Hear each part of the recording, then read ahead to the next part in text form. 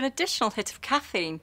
Try this Plantur 39 Tonic. It's for the days you wash your hair and the days you don't. It's really easy to use. Apply it directly to your scalp, massage in, and don't rinse out. Plantur 39 Tonic. Use daily and leave in.